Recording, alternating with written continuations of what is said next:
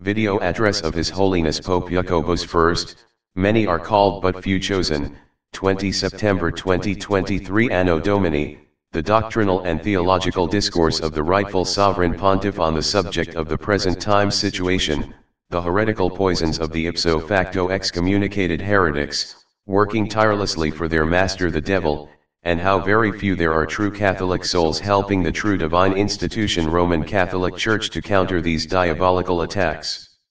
This publication touches on the subject of the genuine papacy and the present sovereign pontiff His Holiness Pope Jacobus I, and how these enemies of God are disseminating their poisonous heretical propaganda and deceiving many souls with their fabricated new doctrines, not willing nor able to teach the truth, them, these heretics, pretending instead that God will somehow fix it when he has not allowed these heretical evils to exist in the first place. The ipso facto excommunicated notorious SSPV heretic and impostor to the genuine Holy Catholic priesthood, William Jenkins, in this excerpt disseminating again his heretical fabrications regarding the true papacy, the set of sedevacantist heresy. And the sectarian apostate Novus Ordo layman sacrilegious impostor to the papacy, with communist connections, Jorge Bergoglio. Is the uh, Orthodox questioner from the episode on August 8th. I am alarmed that would say that the visibility of the church can change amidst the proposed sede vacante, as this seems like textbook modernism. As Ott describes it, the visibility of the church necessitates a hierarchy. In the sedevacantist theory, there is not just a vacancy, but an impossibility to fill those offices since there are no ecclesial hierarchs. How does the visibility still exist when the papacy is not just vacant, but inaccessible? No, nothing I said is textbook modernism. Uh, there's a, an overreaction and a mis- at least a misunderstanding there. Um, I'm not saying the visibility of the church is something that uh, is, uh, shall we say, accidental to the church. Okay, it's a it's a, a, necessary quality of the church. Our Lord established the church to be a visible entity with a hierarchy, no doubt about it, and uh, that cannot disappear. Uh, the fact that, I'm saying uh, I had, we have reason to question the uh, the current hierarchy, the Novus Ordo hierarchy, um, and their legitimacy uh, is not to say uh, that there is no hierarchy whatsoever, okay, um, and that there is no hierarchy possible. The fact that I might say, I don't know how God is going to solve the problem is not to say that I don't think there is a, there is a solution. And he's just kind of reading into it that I'm saying, well, you've got us into this impasse, there's no escape, and therefore you're saying it's over, right? Essentially. And I'm not saying that because I don't believe that's true. And uh, I think that's happening now with people dashing about trying to find a human solution to a very supernatural problem. Um, so I'm just saying that I know God has a solution to this problem. I don't know what it is, and I don't think this man does either. Uh, if if there is no question about the papacy of uh, uh, someone like Bergoglio, who doesn't even believe in the papacy, and doesn't actually even believe in the church and wants to construct a new church in its place, um, that that poses problems too. And again, one might one might say, going the other way, well, the way you see it is an impasse. The church, if what you're saying is true, um, then the church really is at an impasse, and you've just basically done away with the papacy. And, and you say that a true pope can try to do away with the church. But the fact is, um, you know, it seems that way, and this is what we call a dilemma. And uh, but the fact is, in this case, we all need faith, and we need the faith that Christ Himself it can and will solve this problem. That whatever is facing the church these days is not something either um, outside of the knowledge of our Lord Jesus Christ, as though He had no expectation of this, um, and it's not outside His His power of control either. He has the power to solve this problem, and it must be solved by grace. So, um, now if he were to say, well, how are you saying that uh, the church is in this condition and that there can still be a, an actual functioning Catholic hierarchy somewhere, right? And I would explain, well, I think it could happen this way, or I think it could happen that way, right? But that's just speculation on my part And um, but the fact is, I know that God can and will solve that problem. Uh, and Christ is faithful to his promises, and I'm not denying any of that, right? So that we, that we have decided today to uh, publish this is not coincidence because the enemies of the church, as can be seen from the initial uh, excerpt from this heretic, from the illegitimate order of Society St. Pius V, this William Jenkins, it's self-evident that he does not understand the truth and does not understand what really took place.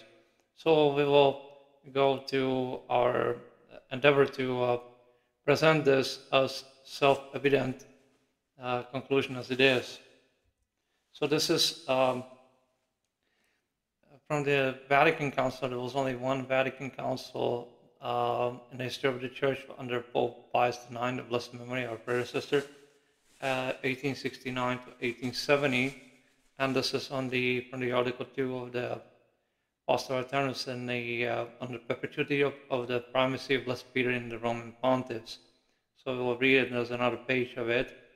This is involved with doctrine has to be followed in conscience by all Catholics. So that means that if you don't believe this, you cannot be admitted into the church.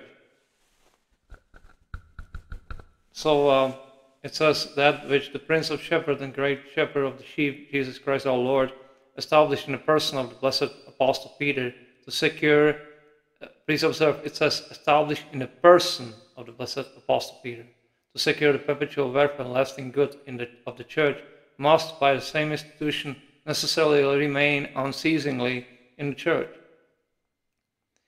Uh, for none can doubt, and so forth, that it is known to all ages that the Holy and Blessed Peter, the Prince and Chief of the Apostles, the pillar of the faith and foundation of the Catholic Church, received the keys of the kingdom of the kingdom from our Lord Jesus Christ, the Savior and Redeemer of mankind, and lives presides, and judges to this day always in his successors, the bishops of the Holy See of Rome, which was founded by him and consecrated by his blood. So this is the first page, and obviously uh, the next page deals with the um, with the canon as it is, and here it is. Uh, says the count, uh, this translation from 1907, Anno Domini. Uh, whence whosoever succeeds to Peter uh, in this see does by the institution of Christ himself obtain the primacy of Peter over the whole church.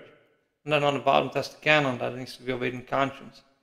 If then anyone shall say that it is not by the institution of Christ the Lord or by divine right that blessed Peter has a perpetual line of successors in the primacy of the universal church that the Roman pontiff is not the successor of, of Blessed Peter in his primacy, let him be anathema. That means cursed, excommunicated. So then, when we deal with this, um, all these enemies of the church have concluded in their publications, uh, it's self-evident that um, they don't really understand how is it possible that uh, non-Catholic sects, as the Novus Ordo, does not have authority to elect the Pope because they are all excommunicated. They cannot assemble and uh, start electing the Pope. It's just simply impossible because they are all outside the church. Um, so then uh, we go to uh, the page right here.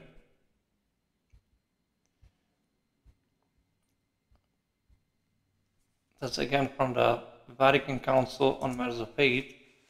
For the doctrine of faith which God had has revealed has not been proposed like a philosophical invention to be perfected by human ingenuity, but has been delivered as a divine deposit to the spouse of Christ to be faithfully kept and infallibly declared.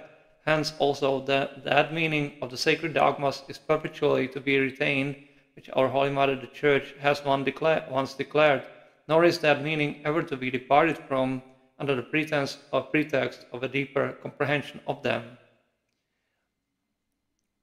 Let then the intelligence, they call it St. Vincent of Lerins, but let then uh, the intelligence, science, and wisdom of each and all, of individuals and of the Holy Church, in all ages and all times, increase and flourish in abundance and vigor but simply in its own proper kind, that is to say, in one and the same doctrine, one and the same judgment. That means that this is doctrine of the of the Vatican Council and of Pope Pius IX again, which means that it is impossible to establish new doctrine uh, that is contrary to what the church always taught. And it, it is impossible to claim the papacy if somebody has established that doctrine and thus contradicted. The Pope cannot uh, contradict his predecessor because why? Because that's uh, again that's very important doctrine as it is. We teach that and define as it is, uh, and the Church has never deviated from this because our Lord promised to St. Peter, Thou art Peter, upon this rock I will build my church, and the gates of hell shall not prevail against it. And I will give to thee the keys to the kingdom of heaven, and whatsoever thou shalt bind upon it shall be bound also in the heavens. Whatsoever thou shalt loose on earth shall be also loosed in the heavens. There's no possibility of departure from that, and what is declared infallibly by the sovereign pontiff, by the supreme teaching authority, came by the power of the Holy Ghost and his guidance to that person of the sovereign pontiff, uh, which Lord confirms, Behold, I am behold, I am with you all days, even unto the consummation of the world, and I will send you the Paraclete, and he shall teach you all truth, and so forth, and he will abide with you forever, and other places, obviously. So it is impossible for pope to teach heresy and retain the papacy. That's impossible. We have demonstrated before in our previous recordings, so we will put it in here because we have some more excerpts to play. But we have demonstrated how important it is to follow this, and that there's no way that a person who claims to have priesthood can declare something that he doesn't know how that is played out, because then the Holy Ghost is not with these people. They are heretics, obviously. To recognize non-Catholic sects as Catholic is a mortal sin of heresy and sacrilege, and therefore such people cannot retain the, the membership in the church. This is another, this is from the Catechism of the Council of Trent, and uh, it's uh, regarding the papacy, and we'll call them St. Ambrose in the in the bottom yellow highlighted. Lastly, St. Ambrose says, should anyone object that the, the church is content with one head and one spouse, Jesus Christ, and requires no other? The answer is obvious, for as we deem Christ not only the author of all the sacraments, but also their invisible minister. He it is who baptizes, he it is who absolves, although men are appointed by him the external ministers of the sacraments. So has he placed over his church, which he governs by his invisible spirit, a man to be his vicar and the minister of his power. A visible church requires a visible head, and therefore does the Saviour appoint Peter head and pastor of all the faithful, when in the most ample terms he commits to his care the feeding of all his sheep, desiring that he who was to succeed, to succeed him should be invested with the very same power of ruling and governing the entire church. Why Sedevacantism heresy is self-evident truth. Not only that, it violates the doctrine we already presented, in, uh, uh, in regards to the Vatican Council, um, which is in a doctrine has to be obeyed, uh, unceasingly remains the person of St. Peter and the, in the successors in the Sovereign Pontiff, remains unceasingly in the position of power, with the exception of that interregnum, which is understandable. Uh, we will speak on that subject, how the Church today is in the catacombs, and the Church does not have the, the means to elect the Pope because there are no more true cardinals. So God had to intervene and so forth. We touched on that uh, uh, at the end when we played uh, uh, the excerpt. But also that our Lord says in another place, Thou shalt be one fold and one shepherd. That means the possessor of the keys to the kingdom of heaven. It is a heresy to claim what the Sedevacantists claim. And then uh, there's uh, these enemies, they are divided and of course, by their own examples, they are teaching fabricated doctrine that is has no bearing on what the church has always taught. So then we will touch on the uh, what has taken place. Uh, it was uh, John 23rd Roncalli. This is from Council of Trent, as can be seen on the screen. And uh, John 23rd Roncalli in 1962, uh, and we have uh, shown the, uh, the, the, excerpts of the uh, Pontificale Romanum, which they published and uh, by which they severed themselves, including Roncalli, who signed it and promulgated it, which is invalid. Uh, in the beginning of 1962, Anno Domini, and some indications there are that may have been printed even before that. It was in preparation, but then the official publication was then. Uh, he violated this uh, Canon 13 of Session 7 of the Council of Trent on sacraments in general. We will read it. That's the highlighted uh, in the greenish type color. If anyone said that the received and approved rites of the Catholic Church want to be used in the solemn administration of the sacraments may be contempt or without sin be omitted at pleasure by the ministers or be changed by every pastor of the uh, churches into other new ones, let him be anathema. That means cursed and excommunicated. Not even the Pope has the authority to change the received and approved rites of the sacraments. That means that if there is a, if there is a substantial change of the sacraments that invalidates the sacrament, and moreover, that person ceases to be in possession of the ecclesiastical office. We will demonstrate that very quickly because that's uh, that's uh, canon law, which the heresy, heretics uh, very seldom or never like to uh, quote. Hence, this is from 1917 Code of Canon Law, Canon 188. The Latin is in the center in that pinkish type color. That's from publication that we have, and the uh, translation is on the, underneath. Canon 188, point number four, at 1917 Code of Canon Law. The office of a cleric becomes vacant by way of tacit resignation by the force of law, ipso jure. It says right there in the uh, in that highlight, uh, underline. Um, that means by the, by the force of law, and by the fact the act is committed ipso facto, uh, and without any declaration. It says right there, sine ulla de declarazione, si clericus, if a cleric has publicly defected from the Catholic faith. That's the uh, blue highlighted part, the point number four. So if a, if a cleric becomes heretic, he loses automatically the cleric office, which includes the Pope. And papacy is the fide, which means part of the Catholic faith. Uh, it's recorded in the Holy Scripture. That's the power of the keys. And so if a Pope uh, became become a heretic, uh, which was the case of Roncalli, then uh, that would be a heresy if we retain the, the papacy, so it, it's automatic, it's by divine law. Then, it, otherwise, the gates of hell would prevail against the church, which Christ our Lord does not permit. A person, by, God, by this very, by the Council of Trent, we have demonstrated, Roncalli lost the papacy, he attempted to change divinely instituted sacraments.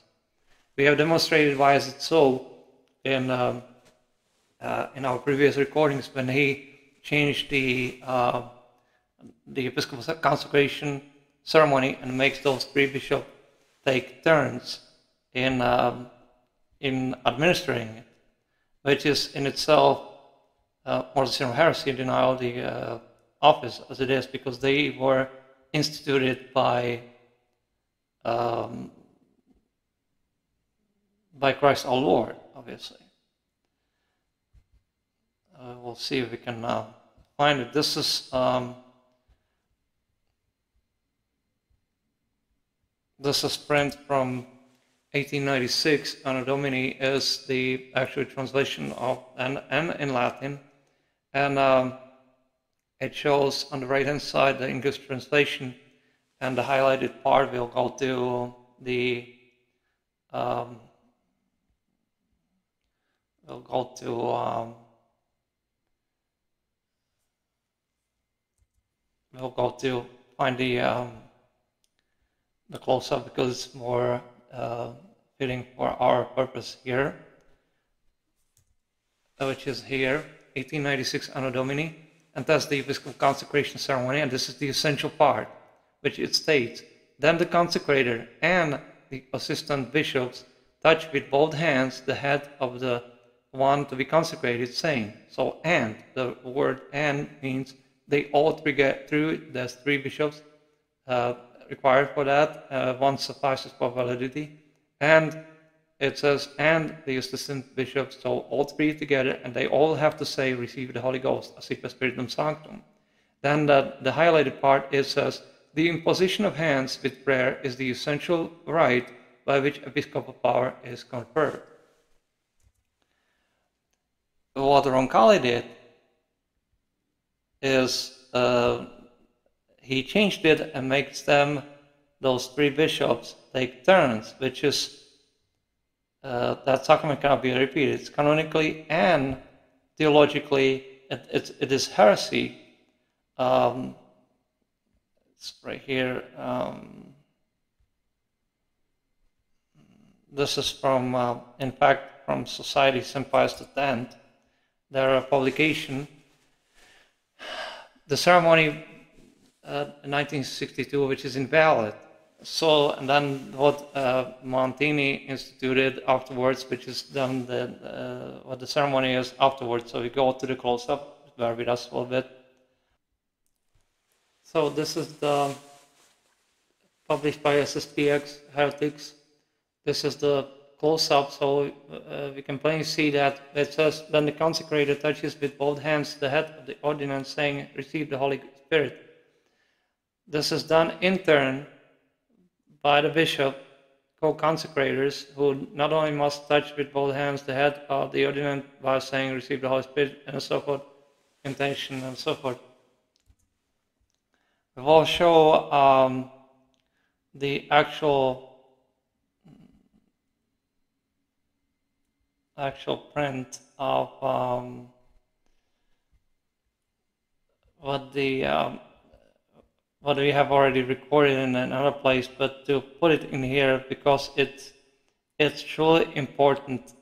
So then uh, these are the Pontificale Romanums of the 1891 Anno Domini, that's the true, and then the 1961-62, that's the heretical one published by Roncalli. And then uh, we have uh, this from the pages uh, to see the difference. So again, on the left is the original one in Latin, both in Latin, but uh, it says um, uh, the word et means and. Then the cons consecrator et uh, is very in small uh, no, uh, letters, so we can't read it on the screen, but it says the, the, the same thing what we said, and the consecrators, the bishops, touch with both hands uh, the, the, the head of the, uh, the bishop elect can say Accipe Spiritum Sanctum. In the, on the right hand side, that's the version from Roncalli, which makes it invalid because that sacrament cannot be repeated. They, they take in question whether the sacrament took place because one bishop suffices for validity. So as it says successive, which means successively or in turn. Uh, this is done in turn, obviously, which is uh, impossible. So that's, that's why Roncalli excommunicated himself because and lost the papacy because precisely he violated the constraints of the Council of Trent uh, on sacraments in general, uh, section 7, canon 13. Uh, so obviously, um, this is this poses a grave, grave problem because then how to continue with this? How is it possible that the church continued?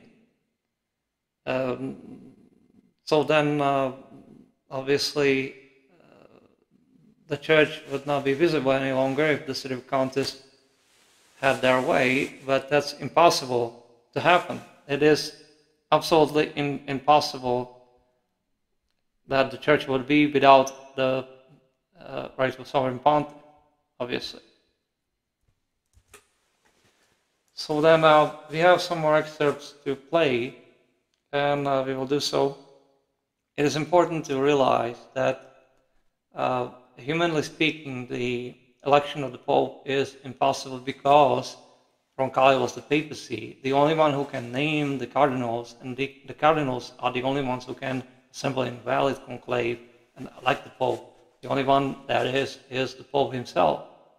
And since Roncalli became heretic and then died a year later Spain for in hell, uh, he lost the papacy, and uh, his so-called successor was only uh, excommunicated heretic Montini, uh, who continued the damage until 1969, where he had six Protestant ministers um, to help to institute the try the, the Novus Ordo uh, mockery of God, which is no longer a holy sacrifice of the Mass. So this is um, screenplay from um, a video that we have produced. This is from uh, Montini. Uh, when he tried to change the, or define the sacrament of holy orders, uh, the ordination to diaconate, priesthood, and and uh, episcopal power, and this is from the episcopal consecration ceremony. It contains two heresies. He claimed that the uh, Holy Ghost was proceed from God the Father and was given to God the Son, which is a heresy. They approved it and uh, um, tried to change it, and so that's what makes them heretics. We'll play an excerpt from uh, uh, the Novus sectarian uh, layman uh, uh, heretic. So this is Montini with six Protestant ministers who instituted this Novus Ordo uh, abomination, which is not a mass because it's a reenactment of the Last Supper, which is heresy. That's Montini, that's a close-up Montini with the Protestants. And so there's no, and then he was forced out of, out of Vatican prior to that by Pius XII, and Pius XII found out that Montini had dealings with, with Stalin. So then we will play uh, an excerpt. We have uh, we are doing so reluctantly because it involves a Novus Ordo sectarian. Um, but just to explain what's taking place, uh, this excerpt was recorded in, um, and the whole video was a debate which is forbidden by um, by canon law see if we can find the, um, the, the, actual um, copy of it. Uh, it's uh, this one, Canon 1325. That's right here. Catholics shall not enter into any dispute, dispute in conference or conferences with non-Catholics, especially public ones, without permission of the Holy See or in urgent case of the ordinary, which today is not really. So, but uh, it's self-evident that this, this cannot exist, but the Sedevacantist heretic, uh, Donald Sanborn, uh, was, who likes the proper guidance of the Holy Ghost as it is, uh, was involved in this. And so the following excerpt is on that regard, and that's self-evident that he does not understand or is not guided by the power of the Holy Ghost to explain to not to to, to be to be precise. True bishop would not be involved in debating uh, non-Catholic sectarian who's a layman about the Catholic faith, and, uh, and allow himself. The bishop would not allow himself to be participate in something like this because the bishop has to teach, like we as the Sovereign Pontiff have to teach the, the, the uh, which we have quoted from the Vatican Council, the doctrine of the faith and so forth, is entrusted to us, so we have to safeguard it. So we can't just be engaged in debating somebody who's not even Catholic about the Catholic faith. That's sacrilege. That will be a sacrilege. But this Sanborn was involved in it, 2004. Uh, and uh, it's self-evident that there's audiences, public debate about the Catholic faith, about the, what happens with this Novus Ordo sect. So let us before we uh, play this excerpt, we will inform the, what our proper judgment on this is.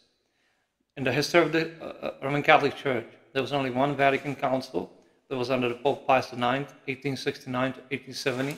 Whomsoever dares to say that there was another such council, the second in number, is therefore disregarding the fact and the doctrine which have we, we have presented and makes himself a heretic. Therefore, we teach and define by our apostolic authority that there was only one Vatican Council in the history of the Church, and Pope Pius IX, our predecessor of blessed memory, and those who dare to uh, teach, uh, say otherwise, uh, that non-Catholic sect, and by then they were non-Catholics because they severed themselves from the unity of the Church by uh, what Roncalli has done to the sacrament of holy orders, that they uh, were supposed to know that that sacrament cannot be repeated, and that it is impossible that, according to Canon uh, 13, Session 7, and the Council of Trent to institute other, uh, other uh, to institute new uh, sacrament as it is. That it is impossible uh, that the person would retain the um, uh, would retain the um,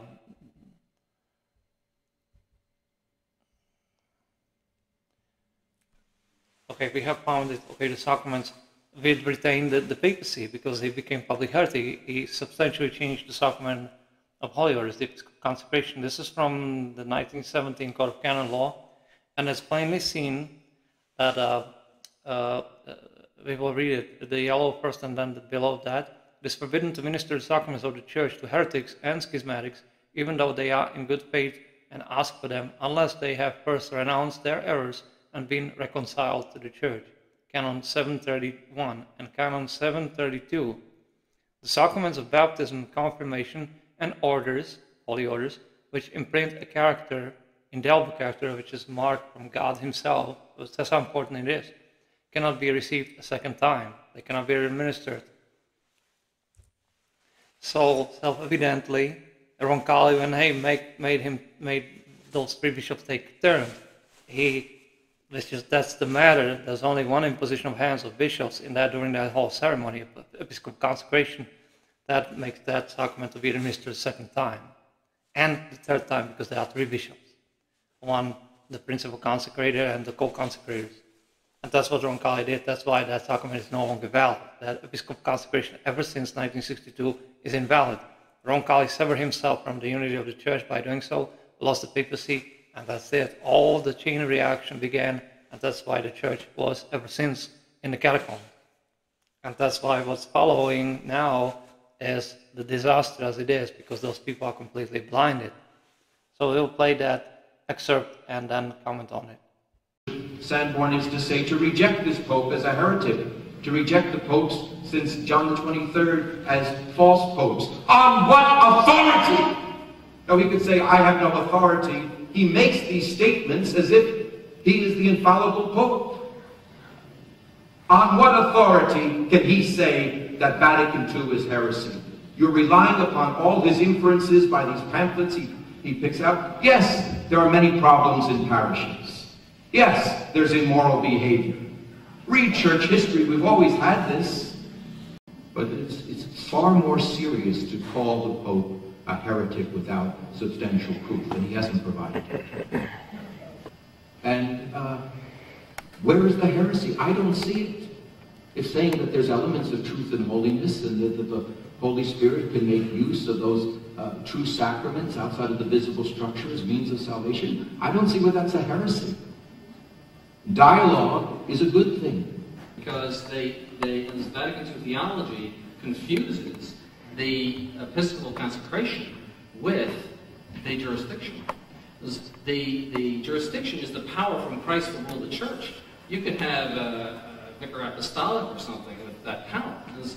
The, and, and you become, uh, under the rules of Pius XII for the conclave, you became the Roman pontiff uh, even before your episcopal consecration, as long as you intended to be consecrated. The church, no father of the church, sanctions schism. Schism is a great evil. It's a mortal sin. You are following a schismatic bishop. That's a grave evil to break and sunder the body of Christ. Consider this. Outside of the church, there is no salvation, but if you're outside union with the Bishop of Rome, you're outside of the Catholic Church. Dr. Fastiggi? if I may, I'd like to ask a question of His, His Excellency. Um, and first to note that there was Albert Pighius, a Flemish theologian, who said the Pope could never be a heretic. Bellarmine states that this position is probable, though not absolutely certain. That's Bellarmine, and then he, he defends another position as a, as a speculative question. But to get back to Bellarmine, he quotes this, the passage of Pope Nicholas I, which is uh, sent to the Emperor Michael in AD 865, and it's repeated in Vatican I's Pastor Aeternus, the famous line that the Pope occupies the first see, which will be judged by no one. Could you explain to me how you are not violating this papally mandated principle, also affirmed at an ecumenical council, because you are judging the Roman See, which the Catholic tradition says will be judged by no one? Okay, two things. One is Innocent III put an exception on that. He said, except in the faith. Secondly, that refers to establishing a, a judicial tribunal. We are not doing that, and that's why, I mean, to get into another more refined aspect, we, uh, we say that materiality is the Pope, that he has a, a legitimate designation to be the Pope. He could become the Pope if he removed the obstacle to it.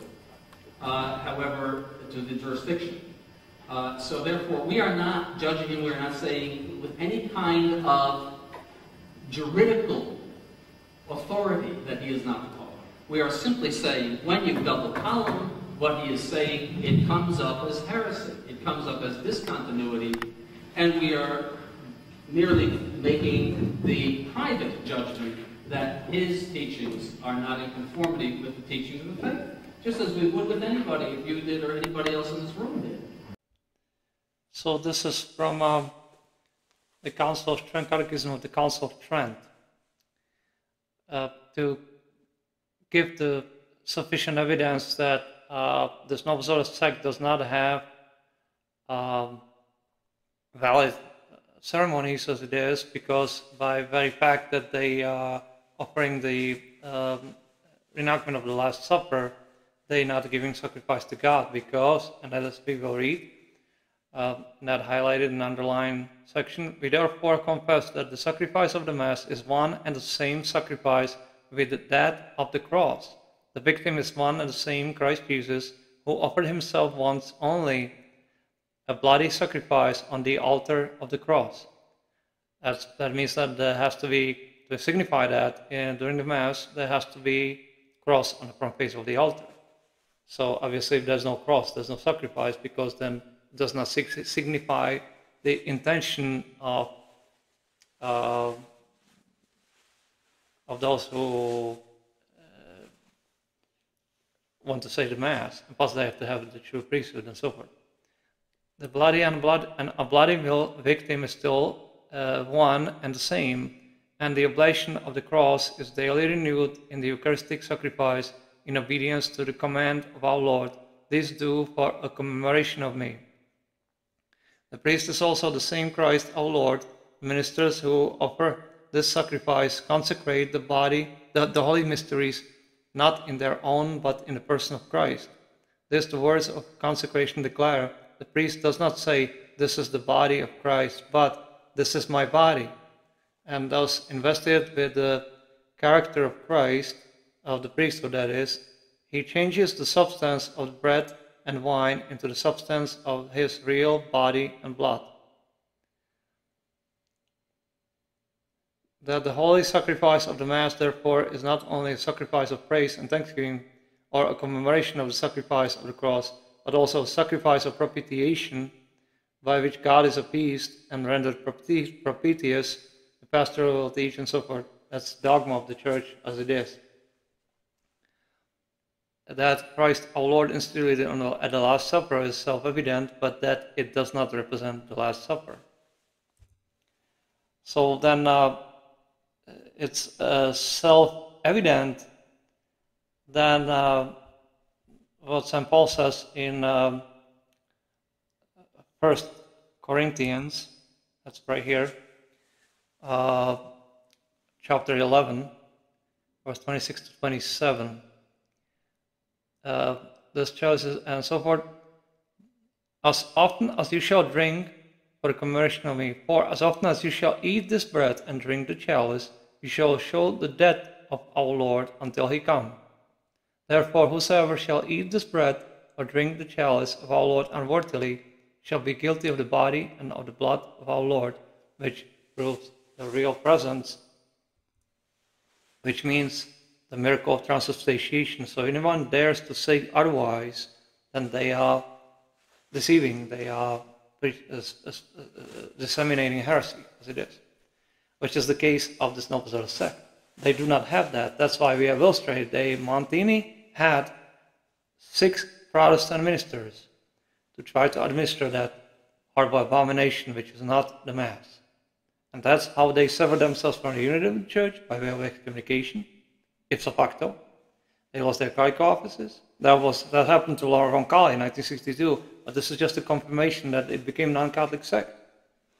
And of course, their ordinations are invalid because they're not ordaining people to offer sacrifice to God, but to mock Him by a Protestant ceremony, which is no longer pleasing to God. It's an abomination. It's a heresy, and and it is idolatry because then they're giving divine honor still to a piece of bread and wine and chalice by genuflecting from it or bowing or so forth, insinuating that that's no matter what kind of commemoration they say, those people in present and, and the attendance they actually are considering as as a ceremony as honoring God, and it is not. It's highly displeasing. It's highly abominable, and uh, and they will pay to God for it. And those churches, because that's a godless, that means horrifying ceremony. Those churches are desecrated. And we have spoken about this on different in different recording.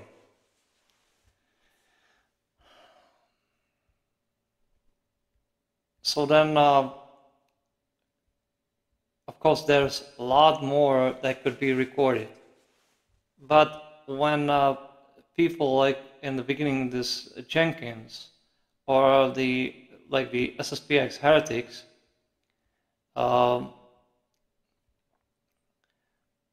who uh, simply do not uh, wish to um, teach the truth, as for example, um,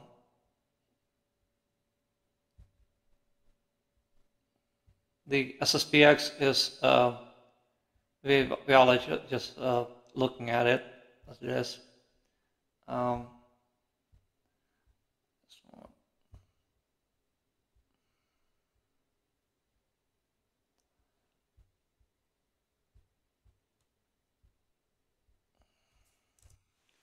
right here. That's from SSPX from Holland. And they sang the Mass in a run uh, retreat center in, in Holland. And so it's plainly seen what it is. So we will go to another screenshot which illustrates what kind of place it is. Um,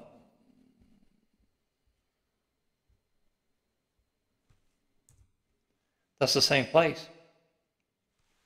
So then there's Novus Ordo table and one more. We have it on video also in the sense of, um, what kind of abomination it is. That's right here, that's the Novus Ordo table. So that place is desecrated, it's no longer, and the SSPX is truly saying the 1962 missal in there, so that's self-evident from that screenshot. Uh, there are many more, many more such situations as this. This is nothing new. The SSPX is they are heretics. They truly recognize non-Catholic sect as Catholic, and they have forfeited everything there is, uh, including that they never had valid priesthood, and then who Archbishop Lefebvre was truly, and how they uh, do not have valid ordinations.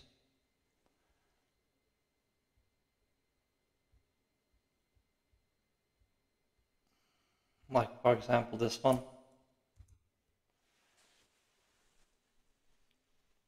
They even we have recorded in another place, but just to put it in there, it says without saying any prayer, and they consider this as the and uh, um, as the essential form, which is not, uh, because that prayer has to be mentioned, prayer of ordination and so forth. This is Bernard Fellay.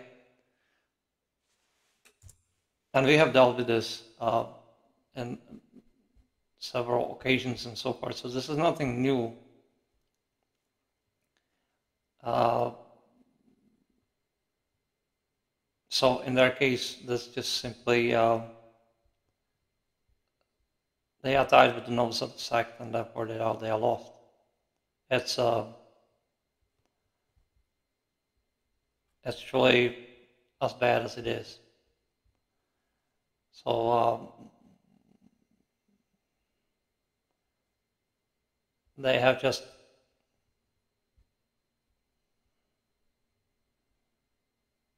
right here. That's from St. Mary's, Kansas. Uh, they have uh, on the front face of the altar they have uh, a, a, symbol of a heart. It has to be a cross. We have read from St. Paul. Um, of course,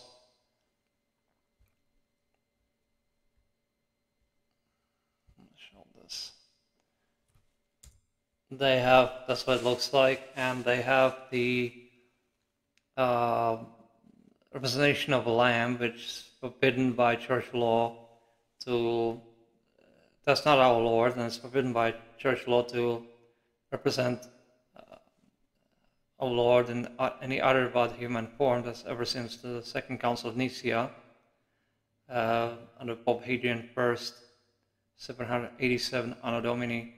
It's in the Acts of Second Council of Nicaea, and that's uh, that's forbidden so our Lord has to be always represented in human form. Uh, so to represent the lamb above the altar or behind the altar where the sacrifice to God is supposed to take place is an idolat is idolatry because that representation of that animal gets gets the divine honor and so forth, which is horrendous. That's that's in Kansas, in St. St. Mary's, Kansas. Uh, so obviously. Uh, this is this is horrendous what these people have done. We have some more pictures of this. This is nothing nothing new.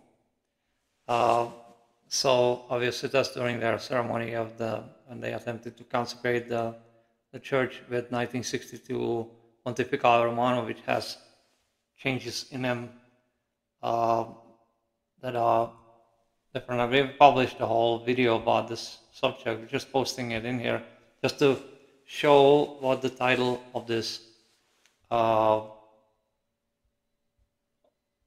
of this publication is. Why is it so? That very few are few are chosen. Many are called, but few are chosen.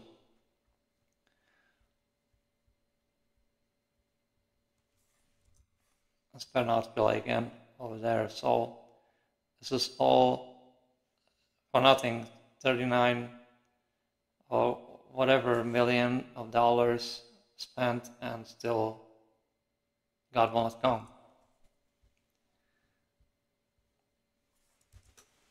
So, in closing, why is this title so? Because the church where we are, obviously, uh, the, the Roman Catholic Church, in our presence, in our under our pontificate, is in the catacombs, and we don't have any other means to continue but by the help of God and by His divine grace. And then there are many more aspects of this, and we have posted so many data and so forth. But this this is important that how the City of Councils are wrong, how the society supposed to these legitimate orders, how they are heretics, and many others. There's no visible order as it is that would not be in uh, sin of heresy, severed from the unity of the church and so forth. And uh, we have documented this in times past as this so-called resistance uh, to the society attend, and uh, they are the same thing. Um, we have so many other data, it would have to be long, very long publication. But that's not our intention today. Why is the title so? Because precisely many are called by our admonition, by our recordings, by our doctrine as it is, uh, to protect the divine deposit of faith, to try to admonish those who claim to be Catholic to re- reconsider where they stand with God, whether they are truly members of His church or not. And at this point, they are not. And that includes the whole world today, basically, with very few ex- exceptions. And those who are selected by our Lord to be the elect, to receive the uh, joy, the absolution, and, and so forth, to be admitted, admitted into the church. At the end, God will punish this world as it is, and it's already coming. And so those who think that they can just plainly set aside their eternal salvation and think that they will just maneuver themselves into uh, obtaining the mercy of God, that they are mistaken. And obviously, the devil will keep them in his hands because they are his slaves as heretics. On the other hand, those who truly strive to be Catholic, who will do nothing else but to be Catholic, God will help them, lead them to us. That's why we are publishing these things to help people to recover themselves from the snare and uh, yoke of Satan as it is.